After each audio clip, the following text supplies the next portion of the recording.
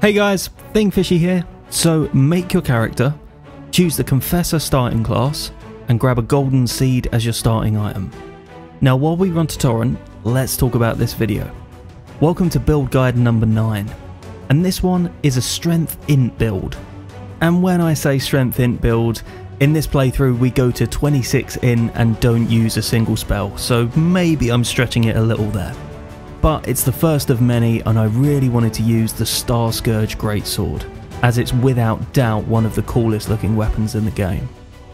This is also the playthrough where I do something very uncharacteristic and actually level some endurance and wear some decent armour. So let's talk about setup. As usual, I followed my standard setup route, linked to the full video and play along guide in the description. And unfortunately, you're gonna have to do all of it for this build, as we're starting off with a smithing stone weapon, then moving to a somber stone weapon. The only thing that you need to do along the way is to free Alexander from his hole in Limgrave, and then... Oh come on, it's the Thanos build, everyone hates Thanos, right? So we pick up the action here, at Fort Gael in Caelid. We're here to grab the Flame Grant Me Strength incantation, and for anyone wondering why we started as Confessor on a Strength Int build, this is the reason. Confessor needs only one extra point in Faith to use Flame Grant Me Strength, and because of this, Confessor is a better choice than Hero for any strength based build.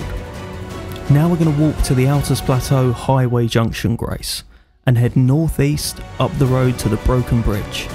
Use the teleporter and then head south through the forest to the Altus Tunnel. There's five smithing stones in this cave that we need to grab, but the main reason that we're here, the main reason, the main, the, the, the main reason that we're here is to grab the Arsenal Charm plus one. Now head to Caelid to the particularly dangerous area just east of the Minor Erdtree, to the back of this carriage. Yeah, it's pretty rough. All these guys are late game level and will one shot you, so quit out if it's looking a bit sketchy. Then grab the greatsword out of the chest in the back. Now head to Lenne's Rise in eastern Caelid and make it night. Jump onto the side of the bridge and bait the Knights Cavalry's jump attack to make him fall off. Now warp to Fort Faroth, equip the Morning Star and apply bleed grease to it, kill Greyll and pop a pickled Fowl Foot just as she dies. Now head to the round table. Buy all of the extra smithing stones that you need and a dagger from the shop. Level the greatsword to plus 16.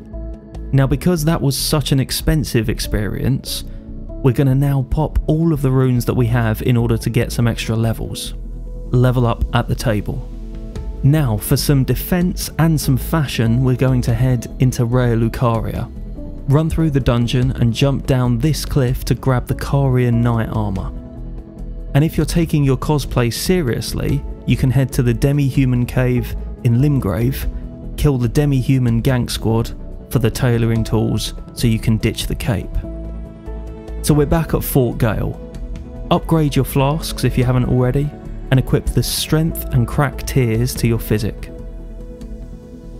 So first off, do a quick one-way trip to grab the Star Scourge heirloom for later. Then we're going to kill this knight at the top, then drop down for this lion enemy. Kill him and grab the Lion Claw Ash of War. Then walk to the Grace by Iji, drop down the ledge and ride north along the cliffs to get to the Intelligence Knot tier. Now we're actually going to kill Loretta first in this run so we can be all set up for Margit as is traditional on these guides. At the Grace, apply the Golden Vow Ash of War to your dagger and the Lion's Claw Ash of War to your greatsword. Outside the arena, equip Radagon's Soreseal and cast Golden Vow and Flame Grant Me Strength. Again, this is going to be our setup for the whole run. Loretta is super easy. All it takes is 4 Lion's Claws. Now out of the arena and round to the right, to find this scarab. Bonk him on the head for the frozen armament spell. Now go grab the grace in Ranni's rise so we don't have to get it later. And for the final part of our setup, warp to the merchant on the Liurnia shoreside and buy a staff. So you can have all your stuff equipped without fat rolling, equip the Confessor trousers. Now it's time for Margit. At the Grace, equip the Intelligence and the Strength tiers to your Physic. Outside the Fog Gate, drink your Physic, buff with Golden Vow and Flame Grant Me Strength, then use the Frozen Armament spell and top up your FP.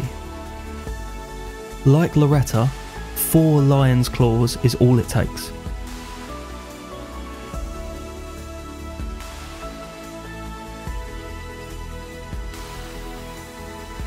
Now, for your extra talisman slot, there's two schools of thought. You can either use the Axe Talisman and focus on charged R2s, or use Alexander's Shard and focus on Lion's Claws. I'm going for the latter as it's a little faster, but the former is better for posture damage. Run through Stormveil all the way to Godric. Buff outside the door by the way, don't panic if you mess up some of these inputs, I, I did it quite a lot. Again, for this fight, use either Lion's Claws or Charged R2s for phase 1. His long cooldowns give us plenty of time for either. For phase 2, run straight up to him and kill him before he's even finished his first attack. Now head to Raya Lucaria for Red Wolf. Buff outside the door, then head in. And this is a ridiculously easy fight, as it only takes two hits to level up the Grace, then head up to Rennala. Punch the Sweetings to prevent them spawning all over the place. Take Rennala to one hit away from death, then buff up when the sixth Sweeting dies.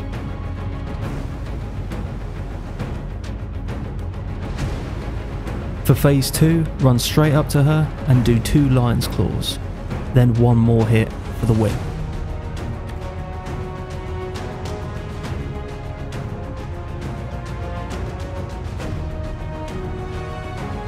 Now head back to Enya at the round table to grab the third talisman slot. And now we head to Volcano Manor. Speak to Tanith and head through the dungeon. When you get to the guest hall grace, we want to drop down and grab the Somber 6 on this roof, then to the other roof for the Smithing Stone 6, then roll through the lava for more Smithing Stone 6s.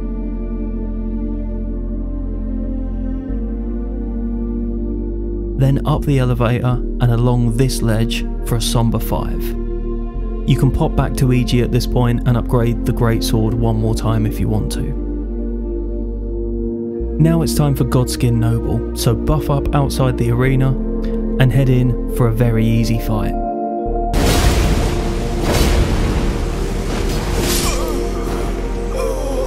Okay, so for this we're focusing on staggers. Get three Lion's Claws in for a stagger and take the riposte into phase 2. As soon as the riposte ends, do another Lion's Claw to cancel the roll. Then two more hits to victory. Now make sure you have two Stone Sword keys, grab the Golden Rune 12 by the temple, and head through the dungeon. Head through the dungeon. Head through the dungeon to the Stone Sword Key gate. Go through and pick up the dagger talisman that you can see me walking past here then drop down to get the Somber Stone 7 by the Abductor outside. Now back through the dungeon, again to Rykard. As always, equip the Lance in the right hand, Serpent Hunter in your left, and do crouching pokes through both phases. As I've seen a few people ask about this in the comments, the main benefit of doing this crouching poke strat is to stun Rykard out of his second phase skull spam attack He'll be dead before he can do it with this strategy, and it saves you having to run around in panic for a while.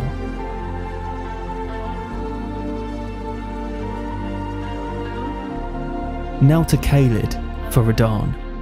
Now, this is a little earlier than we usually fight him, so don't expect the ludicrous damage we've seen on other builds. But that being said, it's still a pretty easy fight. Ride away from him at the start of the fight to despawn him and skip the run. Buff up in sheer panic as he runs towards you. That's the first time I got it right on the whole run.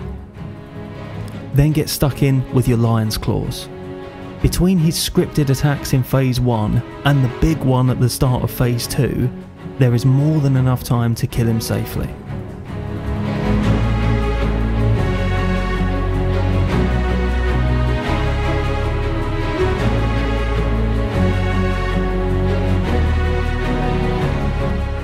Head back to the round table to Enya and grab our main weapon for this run, the Star Scourge Greatswords.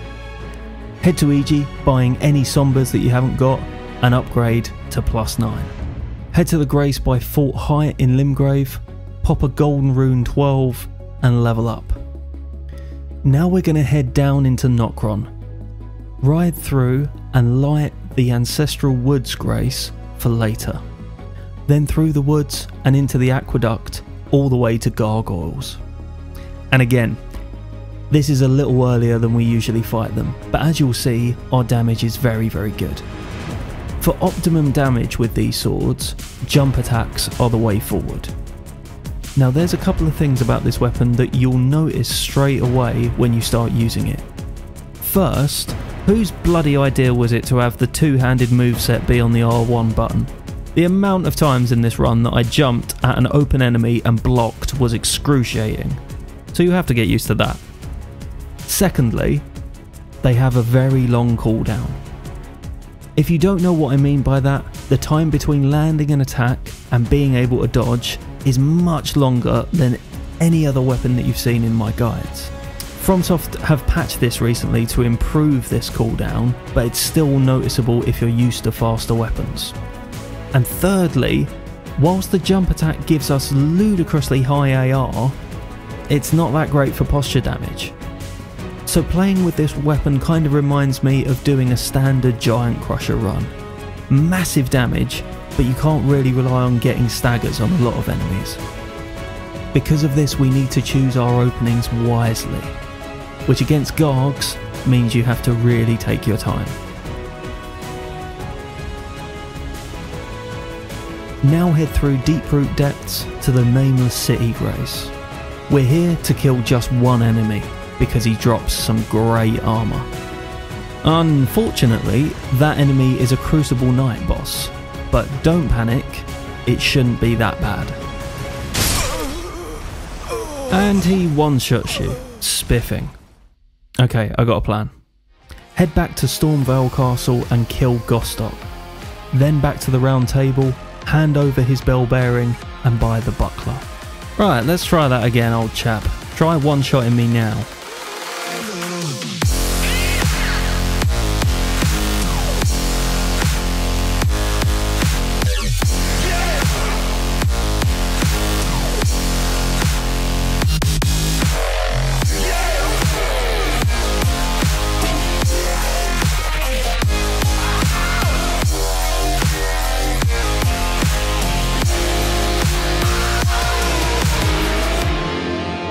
Oh, thank God that's over. Right, give me that sweet armour. Wait. Oh, don't tell me it's in the chest. It's in the fucking chest. I could have just run past him. Walk back to Altus and take a few moments to bask in the glory of your very, very strong look. Equip the Arsenal Charm to get medium equip load. And head across Altus to the Draconic Tree Sentinel. There isn't much to say here, spamming jumping R1s should be fine, just watch out for those slow cooldowns.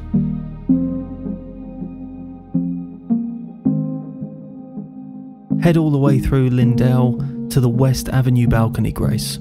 Go back, buff up, and bully the Avatar pop the Lord's Rune, and level up. Now head through the rest of the capital for Godfrey. And he's a little bit more of a problem than usual here, as our rolling R1s, which are normally the perfect choice for him, can miss a lot of the time, but they do big damage when they hit. Unfortunately, I'd say this is probably still the safest way of fighting him, as standard R1s here are very risky because of that cooldown.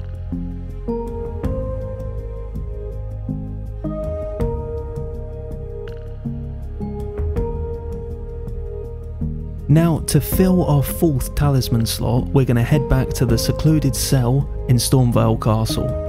Run through the plaza area and past the grafted scion. Give him a bonk if you feel like it. And up the elevator to the Grace. From here, go outside and jump onto this rooftop. Up the broken pillar and up the ladder for the claw talisman to boost our jumping attacks. Now back to the capital for Morgott and this is a super easy one. Two jumping attacks will trigger the dagger attack. One more will stagger him out of it and into phase 2. From there, just two more jumping attacks will do it.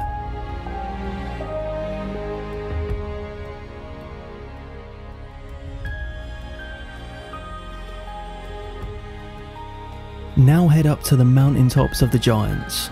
And at this point I had a really silly idea. Yeah, fighting Commander Niall before Fire Giant. Now, if Niall terrifies you, you can leave him till later. Fighting him gives us two levels and a weapon upgrade, but it won't make fighting Fire Giant that much different. So thankfully this weapon is pretty good for dealing with the summons. One jump attack will stun them and give you enough time for the second which will kill. As usual, take the right one out first. For Niall, buff while he does his big windy thing, and then keep your distance. Now we can actually get a really consistent strat here for over half of his health with just one parry and a dodge. Both of Niall's distance closing attacks have very easy parry counters. When he jumps at you with the electric foot, dodge straight forward into him and parry the follow up attack. Once you've got that parry, take the riposte and do a single R1 as he's standing up. This will always make him do the big tornado attack. Dodge this and get 4 jump attacks in during that long recovery. From here, you can either continue to keep your distance and parry the small tornado attack, or the electric foot attack. Grab the first half of the secret medallion and walk back to the Boilprawn Shack in Liurnia and into the village of the Albinaurics to grab the other half of the medallion and while you're here, mushrooms and St. Trina's lilies for later. Then to the Rold lift and through the snowfield all the way to Ordina town. Level up at the Grace, then head southwest towards the Mohgwyn teleporter. Jump onto this ledge to cheese the invader, then use the teleporter to travel to Mohgwyn Palace. Run through the dungeon and all the way up to the midpoint Grace. Then run past all of these guys and grab the ancient Somber Stone. You can take this back to EG and plus 10 your weapon. Now ride through the rest of the mountaintops, all the way to the Grace by Fire Giant. And it's a relatively simple Fire Giant fight. Jump attacks on the foot for phase 1, cast Golden Vow at the start of phase 2, and then get two jump attacks on the hand for the stagger. A jumping attack and a riposte on the eye, and then just play it safe and bonk his foot for the rest of the fight. Speak to Melina and burn the Erdtree. Now run through Farum Azula to the Dragon Temple Transept Grace. Hop back to Carley at the Church of Elleh for the crafting kit. Back to Stormveil's secluded cell to grab two crackpots by the pot friends nearby. And then back to the Transept Grace to craft your sleep pots run in and put Godskin to sleep. Now, Skinny dies in three hits, but Fatty will be up after two and hit you after your third jump. You can either dodge through the shockwave or just tank it and then quickly attack afterwards. If you wanted to be super safe, you could throw another sleep pot at him after your second jump. Now head through the rest of the dungeon as usual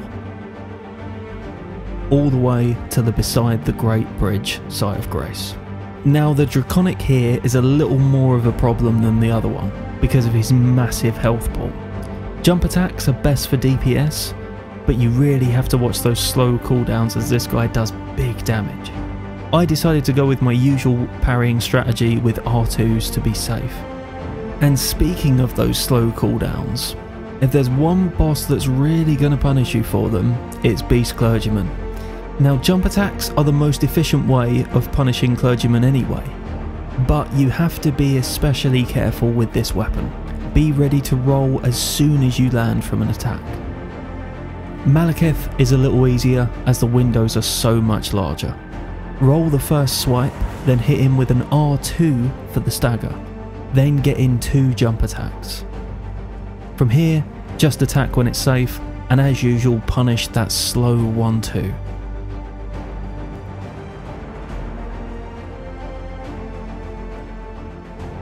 Head to the Ashen Capital and level up at the Grace. Now, I just want to stress that what I do now is completely optional, because what I'm going to do now is go fight one of the hardest bosses in the game for a better set of shoulder pads for my armour. Head into the Altus Hero's grave and down past the chariots to the boss room. Now, this fight is an absolute nightmare, but can be made infinitely easier by following a few pieces of advice. First off, parries are your friend here, as the riposte iframes prevent you from being ganked. Kill Ordovis first, as he's the more dangerous one and do this while keeping the other one at full health, as you certainly don't want both of them in their phase 2s. And finally, and most importantly, take your time and play it safe. I'm letting this whole fight play out at 500% speed to show you just how cautious you need to be. This was actually about a 6 minute fight.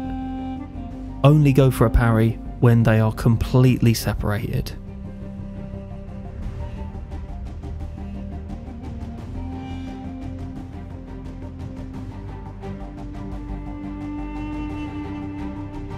When Ordovis is down, you can be much more aggressive with the other one. Despite the memes earlier, the Tree Knights are far easier to parry than the sword ones.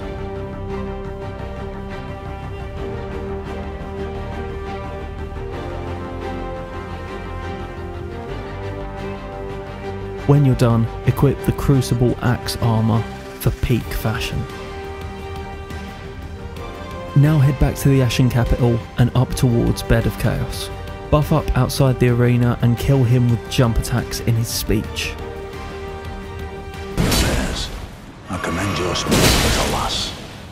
None shall take the throne. Oh no, no, no, no, no, that wasn't even close.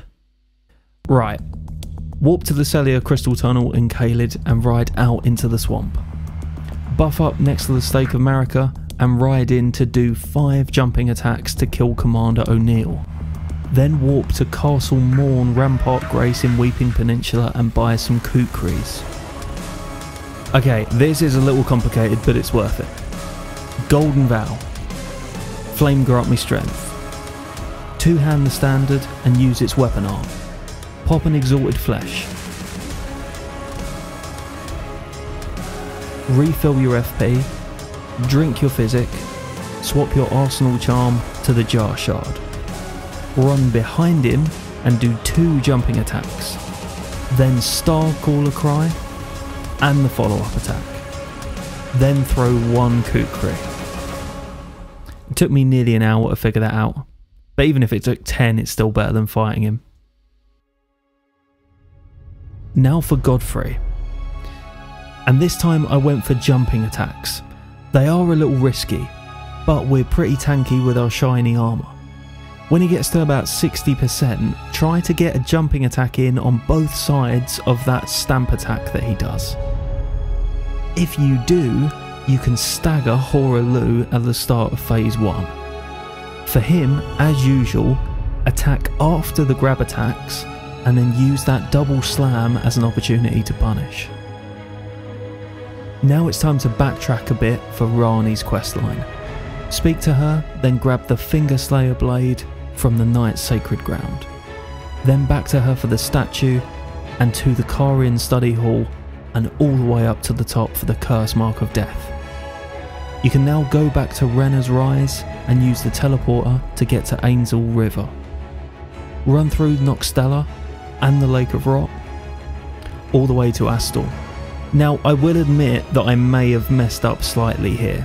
Arguably, it would have been better to do Astor a lot earlier in this run, as our weapon deals extra damage. So feel free to do this much earlier in your playthroughs. Now head to Fia for a deeply satisfying Fia's Champions fight. One shot the first one, then two shot the second one. Then wait for the three musketeers to fully spawn in and use Starcaller Cry to obliterate them. Get a hug from Fia and into Fortisax. We do enough damage to just spam jumping attacks on the foot for a very easy fight.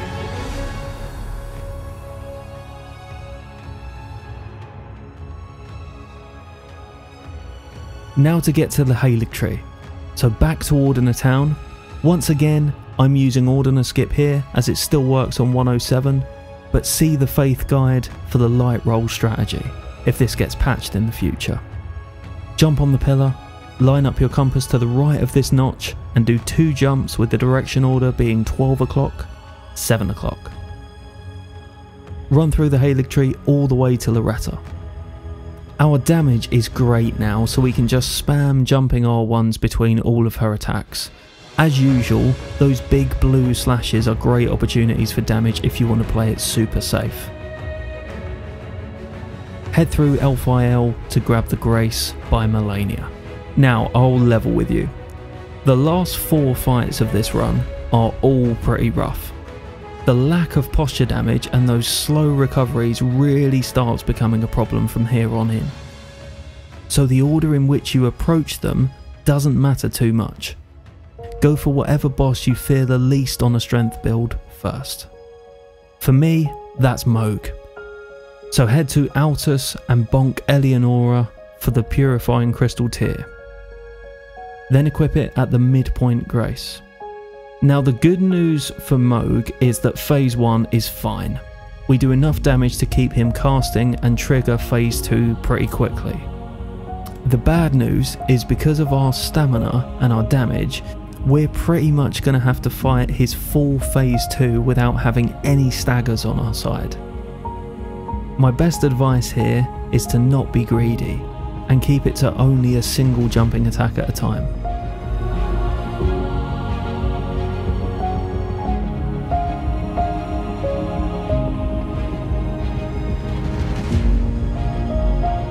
Now for Plassey, and this isn't too bad. It is possible to get 6 jumping attacks in at the start and then get 2 on the head for big damage, but you have to play pretty much flawlessly for this, so it's probably not worth the risk. As usual, punish the claw attacks with R1s, run to his back for the fire breaths, and run away from the lasers and rebuff towards the end.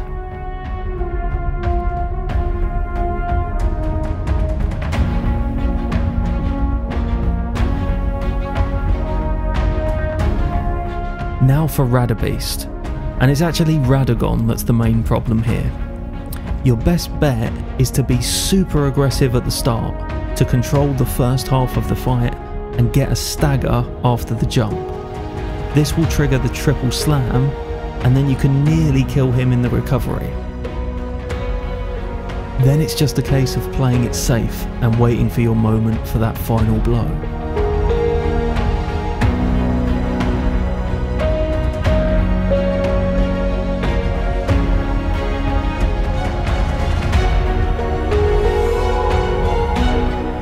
For Elden Beast, it's a pretty standard fight. Just get your jump attacks in for all of the openings.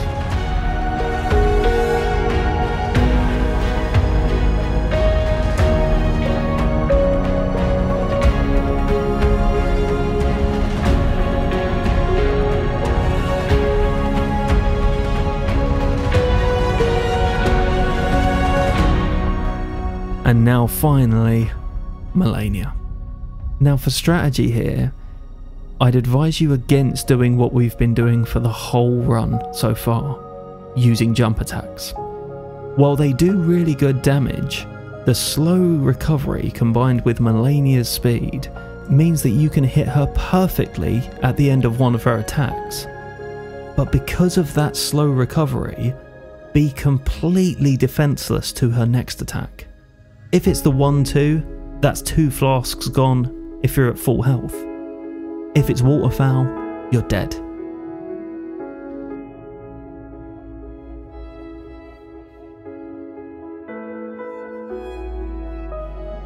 My solution, to the surprise of absolutely no one, was to get naked and break out the buckler.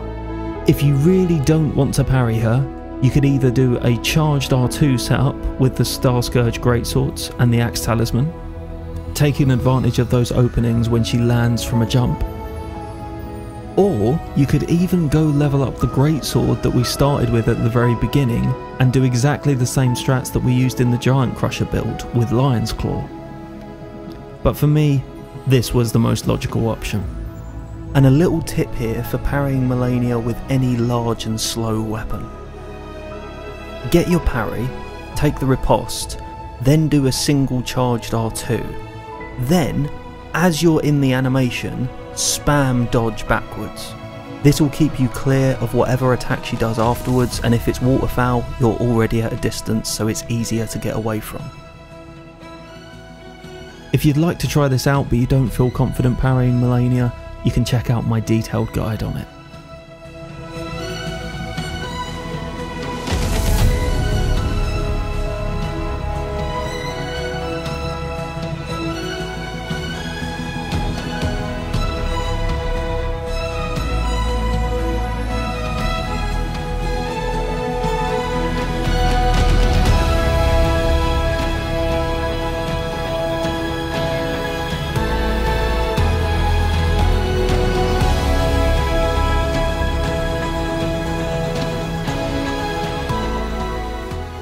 And that's it. How to make a seriously cool strength int build in Elden Ring. If you've made it this far and actually tried this build, please let me know how you got on in the comments. If you enjoyed this video, give it a like, leave me a comment with a future build suggestion, and subscribe to my channel for more Elden Ring build guides. As always, thanks for watching. See you soon.